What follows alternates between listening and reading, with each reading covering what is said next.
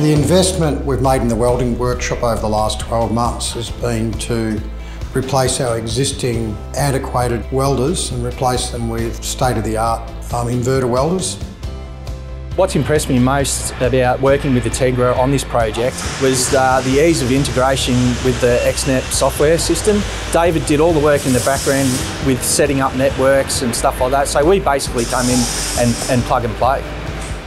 When we bought our EWM welders, we purchased XNet, which is software platform. It gives us the foundations to further develop our quality processes and procedures. This particular software manages our weld procedures, qualification processes, and all our record keeping requirements. I've been able to report actual welding time per week, per day, per shift, per year. We can monitor gas usage, wire usage, um, and power.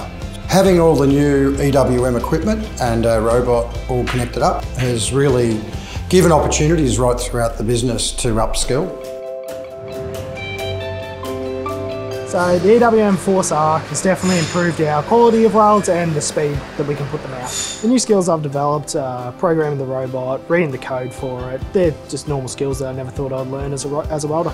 It's important that manufacturers like Entegra modernise their welding procedures by using Industry 4.0 software like XNet and robotics. It helps them compete with offshore competitors to combat the uh, skills shortage that there currently is and also ready themselves to move into the future.